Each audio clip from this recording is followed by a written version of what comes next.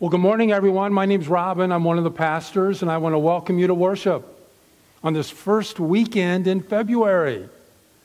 And in case you didn't know, it's Super Bowl Sunday for those of you that are interested. If you're a guest, we're glad you're here. And we hope that you're encouraged as we worship our living Lord together. I just want to point out you've probably noticed that we have simplified our program. We've gone to a half sheet on both sides, and also the sermon notes are separate. If you would like a copy of the sermon notes, they're on the table in the lobby. As you come in, you can pick one up. And if you did not get one this morning and would like one, there's ushers in the back. You can just raise your hand if you like sermon notes. But in the future, what we can do is pick them up on the table in the lobby. So there's a few people over there would like some. The Bible says in the last days, people's love will grow cold and violence will increase in our world. And with each passing day, we see more violence, more evil in the world that we live in. So the question is how do we, as followers of Jesus Christ, impact the world we live in? Is there anything we can do to make a difference? Well, I'm happy to say yes. There is something we can do. And as we continue our study in the book of Romans, today's passage is a clear call to action. And it gives the solution to the problem of evil. So please turn with me to Romans chapter 12. Now, this passage is different from the one we looked at last weekend because there are over 20 short exhortations that come at you in a rapid fire kind of way. So be prepared. They're short and they're powerful. But the great thing is, when you combine them all together, they form one main idea, which is both powerful and simple. So, if you would, please stand with me as we read Romans chapter 12. I'll begin at verse 9. Let love be genuine. Abhor what is evil. Hold fast to what is good. Love one another with brotherly affection. Outdo one another in showing honor. Do not be slothful in zeal, but be fervent in spirit. Serve the Lord. Rejoice in hope. Be patient in tribulation. Be constant in prayer. Contribute to the needs of the saints and seek to show hospitality. Bless those who persecute you. Bless and do not curse them. Rejoice with those who rejoice. Weep with those who weep. Live in harmony with one another. Do not be haughty, but associate with the lowly. Never be wise in your own sight. Repay no one evil for evil but give thought to what is honorable in the sight of all. If possible, so far as it depends on you, live peaceably with all. Beloved, never avenge yourselves, but leave it to the wrath of God. For it is written, Vengeance is mine, I will repay, says the Lord. To the contrary, if your enemy is hungry, Feed him. If he is thirsty, give him something to drink, for by so doing, you will heap burning coals on his head. Do not be overcome by evil, but overcome evil with good. This is the word of the Lord. Thank you. You may be seated. Now, each one of the over 20 exhortations could serve as the text for an entire sermon. And yet, together, They form one main idea, which is both simple and profound, and this is what it is genuine love in action is the best way to overcome evil in our world. Paul paints a beautiful picture of the actions of love. And we see a vivid description of what genuine love looks like in our relationship with God and our relationship with other people. He gives us our marching orders, how to love people well. And that includes those people we think are unlovable. You know, at the end of our lives, I'm confident that all of us here would like to be remembered as someone who loved others well. And this chapter shows us how to do just that. And it begins by calling us to be eager to love one another. You know, a lot of ways this passage is like a checkup. You go to the doctor. What do they do? They check your vital signs, your blood pressure, your pulse, your temperature, to see if you're physically healthy. This is a spiritual checkup where Paul gives us vital signs of a healthy Christian. And he begins with the most important vital sign let love be genuine. Abhor what is evil. Hold fast or cling to what is good. Do you remember what Jesus said was needed, that we need to do so that others would know that we're Christians? What was it? We are to love one another. Jesus told the disciples, Others will know you're my follower if you have love for one another. And our love needs to be genuine, which means it's without hypocrisy. Now, the word hypocrisy was used with a, an actor in the Greek world that, to portray an emotion. Happiness, there'd be a mask. If they were sad, there'd be a mask. And so the expressions of emotion could change with the removal of a mask.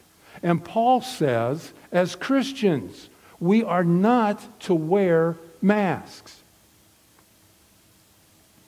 Instead, we're to love one another with a genuine and sincere love. And to help us do that, he gives two commands abhor what is evil, hold fast to what is good.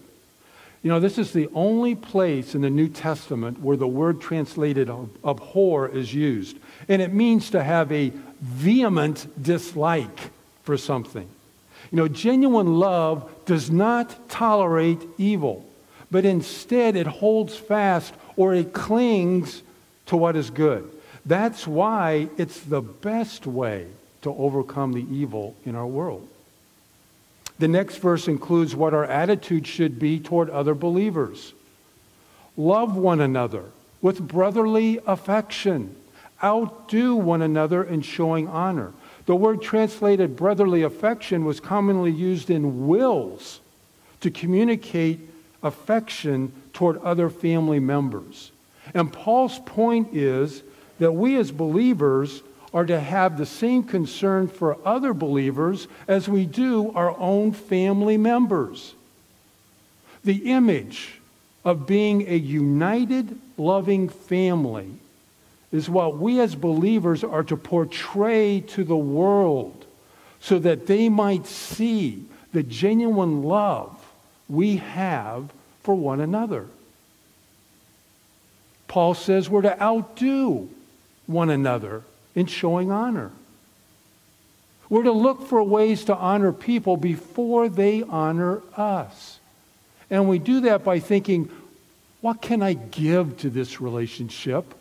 Rather than, what can I get out of this relationship? It's surprising how quickly you start liking someone when you begin to give them honor and respect. Next, Paul describes what our attitude toward God should be like. He says, Do not be slothful in zeal, be fervent in spirit, serve the Lord.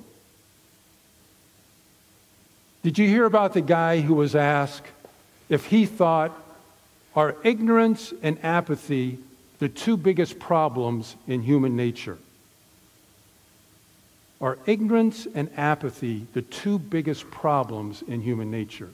And he responded by saying, I don't know and I don't care. Those are the very attitudes that Paul is saying we are to avoid as followers of Christ. We are to show genuine care for others, and we are to seek to help those who are in need. Our world is full of people who are going through trials. And I know some of you are experiencing hard times right now. You know, someone has said that life is full of trials. We're either going into a trial, we're in the middle of a trial, or we're coming out of a trial.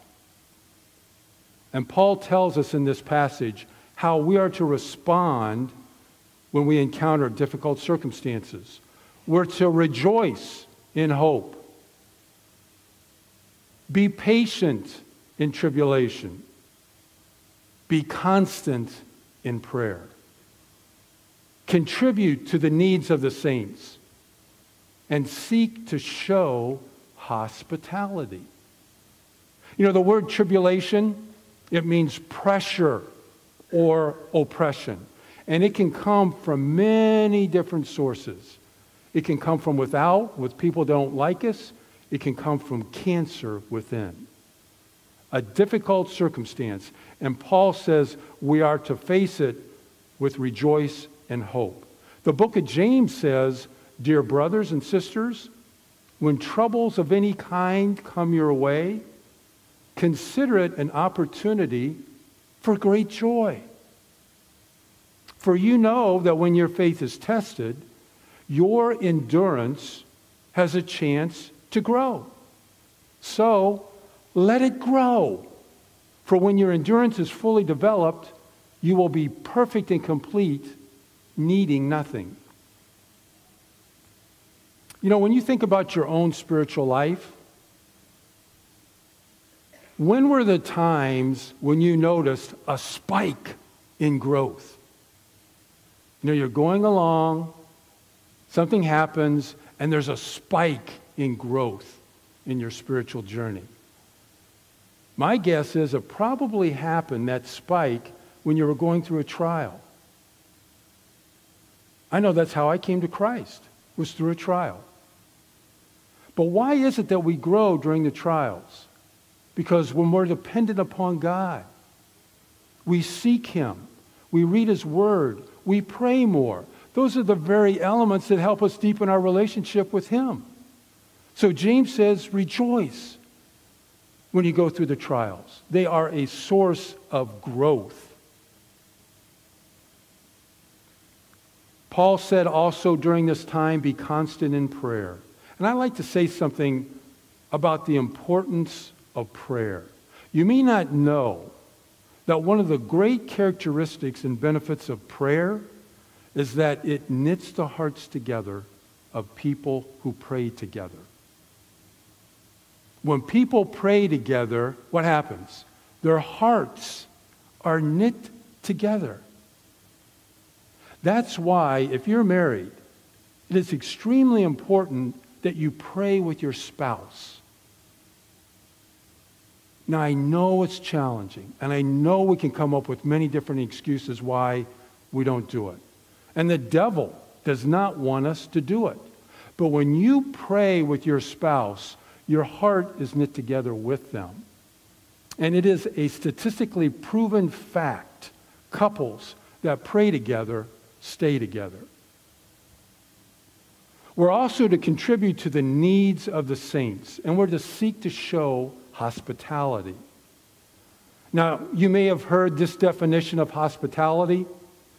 Hospitality is making people feel at home when you wish they were. I think that's true for most Americans. We don't pursue hospitality because we view our home as exclu- uh, exclusively reserved for us. You know, I learned a very valuable lesson about hospitality when in the early 80s, for three years, I lived in Nairobi, Kenya. I was there as a missionary teaching Bible to Kenyan high school students. We got a picture of some of my roommates. What would happen in the Kenyan educational system after high school, at the end of their last year, they would take a battery of examinations. And if you got a certain score, you were able to go on to university. There was much competition. It was a very stressful time. Now, during that year, after they took their examinations and they were waiting to see if they got accepted to university, we would invite Kenyans to come live with us for life to life exposure and for discipling. And here's a picture of some of them. In case you don't know who I am, I'm on the end. But here's what I learned about hospitality. In Africa, it is held in high regard. It's a Middle Eastern cultural thing. Hospitality is extremely important. And as an American, it was challenging for me because this is what would happen.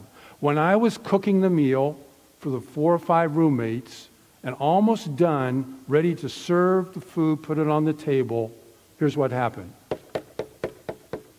Be a knock on the door and there'd be four or five other Kenyans who just showed up.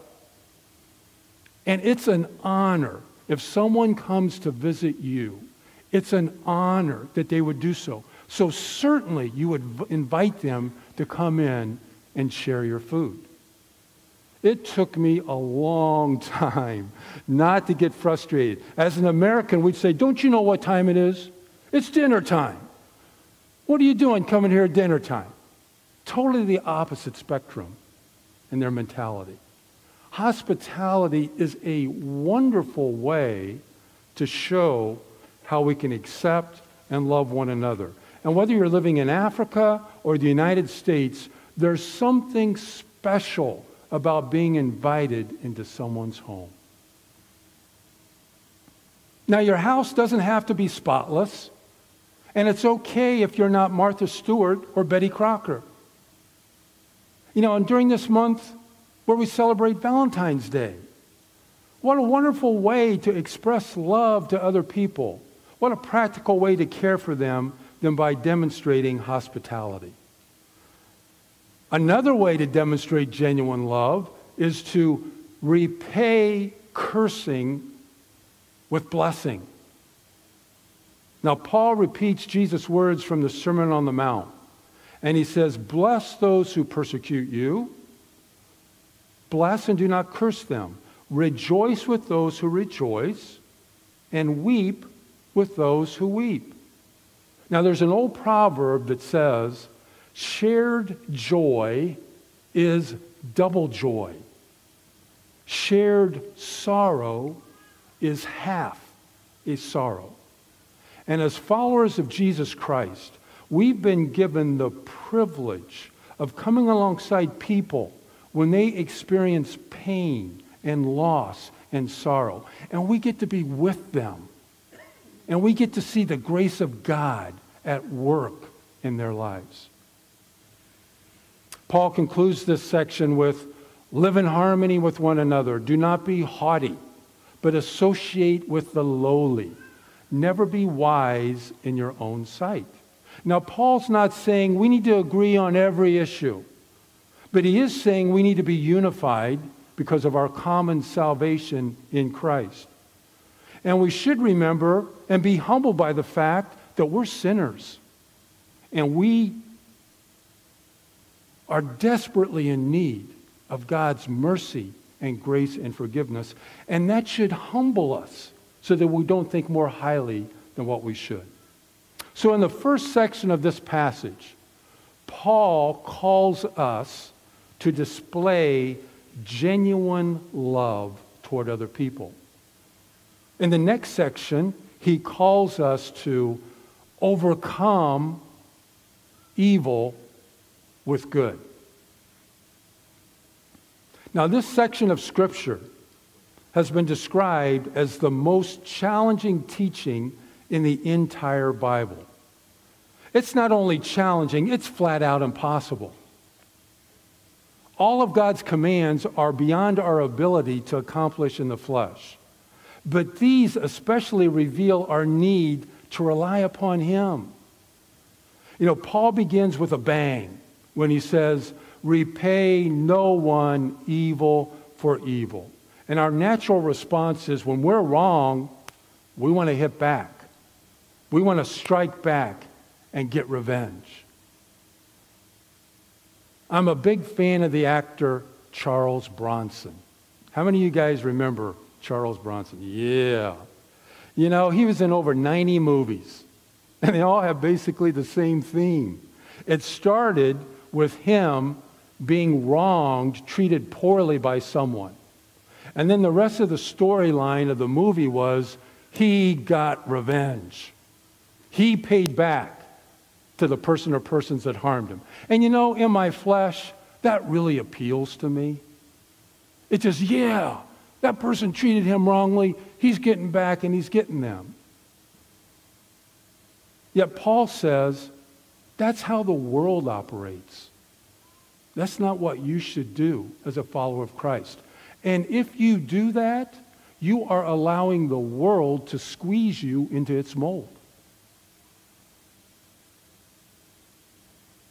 Paul takes it even farther when he says, if possible, so far as it depends on you, live peaceably with all. And the phrases, if possible, and as far as it depends on you, they show that we can't force others to do what's right.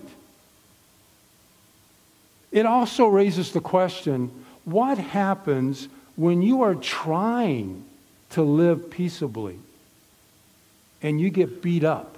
even more. What do you do then? Living at peace doesn't mean you continue to put yourself in a situation where you may be harmed. Once you've done everything within your power to resolve a conflict, you have fulfilled your responsibility to God. And the best thing we can do is to continually ask God for wisdom how to live peaceably with others. Paul makes it clear in the midst of all this never avenge yourselves. Leave it to the wrath of God. For it is written, Vengeance is mine. I will repay, says the Lord. You know, this verse comes to mind when I'm watching the news and I hear about all the women that have been abused. I hear about the shootings in the schools. I hear about that family that for years imprisoned their 13 children. And I think, those are the people we should get back. And yet we're commanded to never pay back evil for evil to anyone regardless of what they've done. That flies smack in the face of people who say, don't get mad, just get even. I know you've heard that. It's what the world says we're to do. That's the way the world operates. And if that's the way we behave, the world has squeezed us into its mold. That is not what Paul says. He slams the door shut on taking revenge. And instead, he says, leave room for the wrath of God. Now, if someone breaks the law, we're to report them to the authorities. In the next chapter, Paul describes how he uses, God uses, the civil government for judgment. God is the final judge, and He is just in punishing those who have sinned against you. Remember, He said, Vengeance is mine. I will repay. Paul wraps up this chapter with some unique commands. To the contrary, if your enemy is hungry, feed him. If he's thirsty, give him drink. For by so doing, you will heap burning coals on his head. Paul's quoting from the book of Proverbs, and the verse in Proverbs says, If your enemy is hungry, give him bread to eat. If he's thirsty, give him water to drink. You'll heap burning coals on his head. And the principle here is the best defense is a good offense. I'm sure both teams playing today in the Super Bowl, they already know that. The best defense is to have a good offense. So, when someone reviles you, the best defense you can have is to go on the offense and show them kindness and love. There's even a possibility you may win them over by being kind to them. Abraham Lincoln said, The best way to destroy your enemy is to make him your friend. Paul concludes do not be overcome by evil, but overcome evil with good. And to return evil for evil, it comes naturally to us. That's why we're good at it. You know, one area I'd like to mention where we have the opportunity to overcome evil with good is in social media. A couple of weeks ago, our Next Gen ministry with Ward Crawley, Pastor Keith, they presented a family faith talk on internet safety. They presented helpful information, how we can use social media for good. In case you missed it, it was recorded. You can contact the office, they can let you know how to see it. But in all areas of our life, in any area of communication, we are to overcome evil with good and not lash back and avenge. You know, earlier I said I'm confident that all of us here would like to be remembered as someone who loved others well. It's a wonderful legacy to leave behind. And each Thursday morning, I meet with my men's life group. And a while ago, I asked them to write out what they would like people to say about them at their funeral.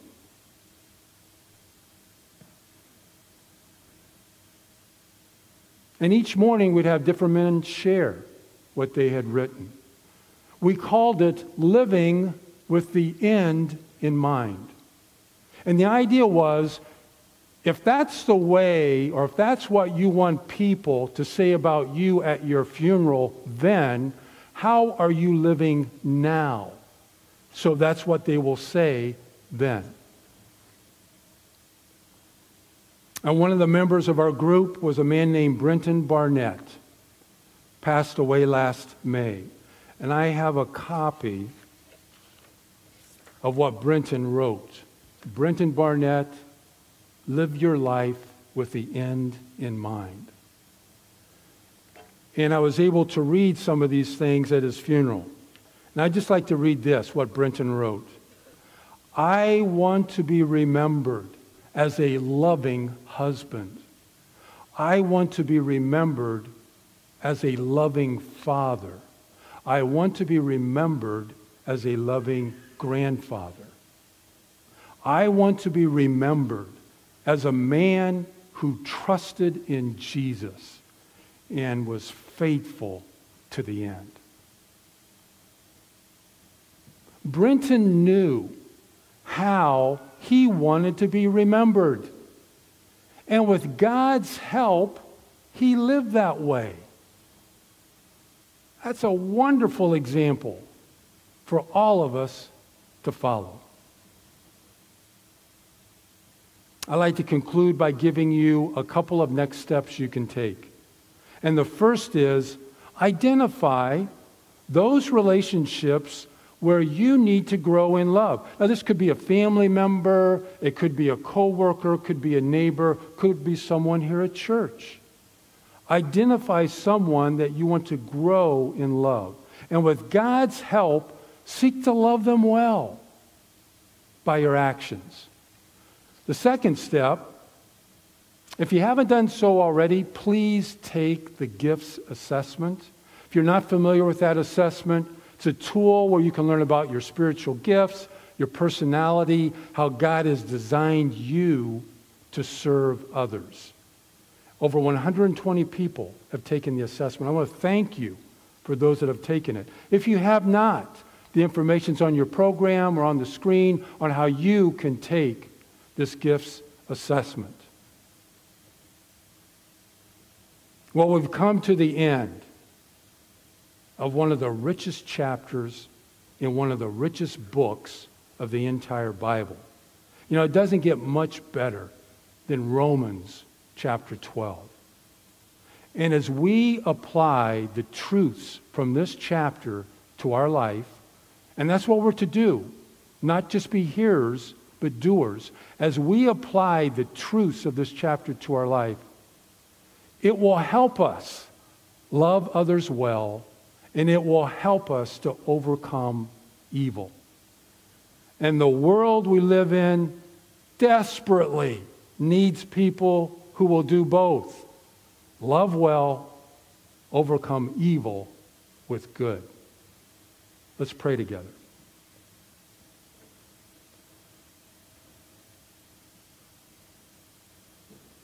If you're here this morning and, and not yet a Christian, we want you to know if you open your heart to God, you will find genuine, unconditional, forgiving love.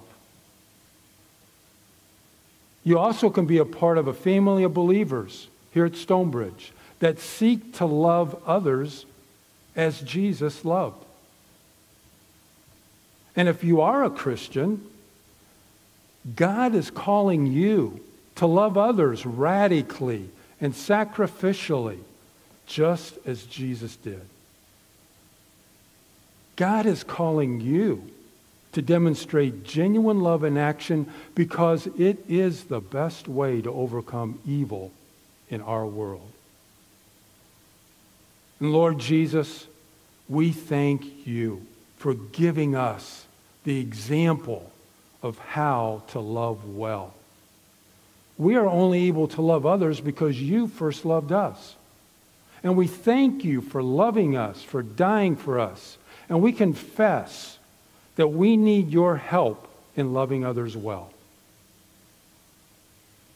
Our prayer is when others see us and when they see Stonebridge Church, they will say they must be Christians because of their love for one another.